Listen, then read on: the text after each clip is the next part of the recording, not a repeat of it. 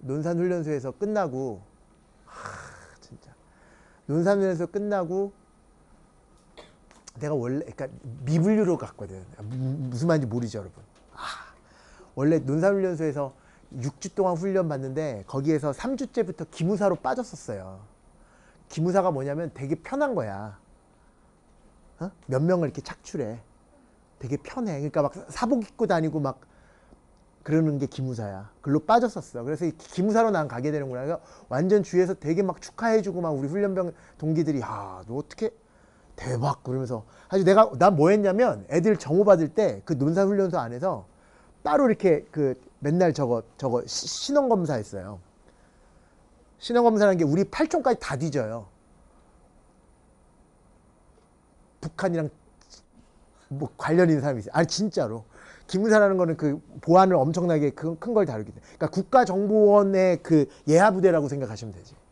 어?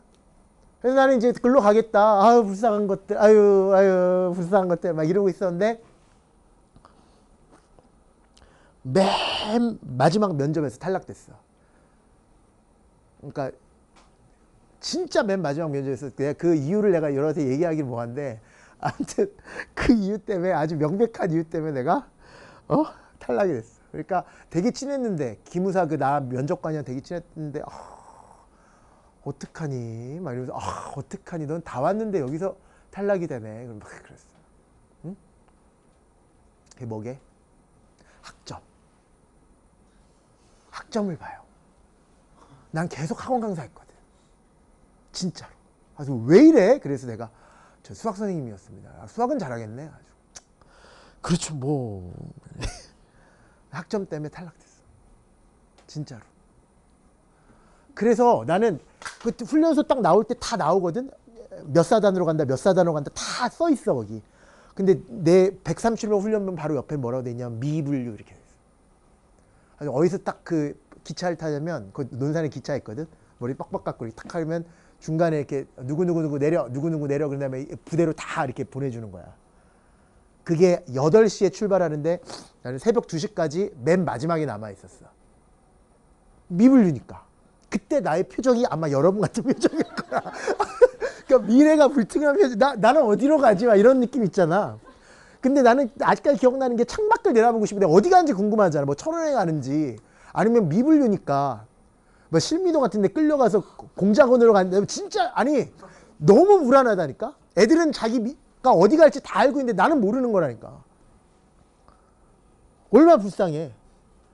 나는 어디 가는지 진짜 그때 기분 내가 지금까지 살아오면서 가장 우울했던 날이야 그 날이. 미래를 모르니까. 그 다음에 맨 마지막에 그 기차가 딱 섰는데 한참 동안 서 있더라고. 근데 그 안에 군기가 엄청 세서 이러고 전혀 못 움직이거든. 이래도 혼나 이래도. 그러니까 바깥에는 어차피 커튼도 닫혀 있을 뿐더러 커튼 열고 바깥을 본다는 게 불가능한 거야 그런데 이제 사람들도 거의 다 빠졌고 여기 감시하고 있는 사람들은 없길래 살짝 내가 딱 봤거든. 너무 오래 서 있어서 보니까 저기 정부역 서 있는데 보니까 의정부인 것 같아. 그러더니 아직까지 안 내린 새끼 다 내려 딱 그러는 거야. 아주 막 내려가지고 막 뛰었지. 막, 막 뛰어. 어, 그때 생각하면 여러분 지금 표정이라고 생각하면 돼. 가지고 딱 앞에 딱 하니까 새벽 3시에 딱 해가지고 지금부터 어디로 이동한 다음에 아주 내가 딱 물어봤거든. 우리 어디로 가는 겁니까? 그러니까 나도 몰라. 개새끼야. 막 이러더라고. 그것도 개새끼도 개새끼 막 이렇게 얘기하는 게 있어. 어 특유의 발음 그 조교에 어 아주 딱 그 의정부로 가서 맨 마지막에 그것도 내가 마, 마지막 날 분류됐을 거야. 그래서 남 다른 애들 다 가고 그때 이제 가평으로 가가지고 막 그렇게 했는데 아 그때 완전 최악의 표정이었는데. 여러분 지금 그, 그, 이 느낌일 거예요 이 느낌. 응? 여러분 나중에. 내가 여러분한테 뭐라 그랬냐고. N분의 상수를 뭐라고 바꾸라 그랬어 다 같이